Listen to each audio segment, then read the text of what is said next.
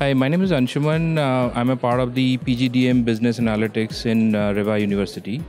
I just completed uh, my degree the first year, and uh, today is the convocation day. So, to talk about Reva University uh, and the course curriculum of business analytics, I would say that it is one of the best in the industry. If you compare across uh, multiple course modules that are offering uh, business analytics course, I think this is having more practical sessions, more touch points, and more interaction with the faculties. Uh, the faculties are great, all PhD holders, and um, they are renowned and some of the best in the industry as well. And the practical sessions, there is no comparison with uh, any other institutions today. And the the uh, lab is the uh, you know the best thing in this university, I can say. Uh, the technologies that are available and the modules that we did are some of the best and I would say today I got my degree, and uh, you can see um, I'm I'm happy, happiest ever. So thank you, thank you, Reva University.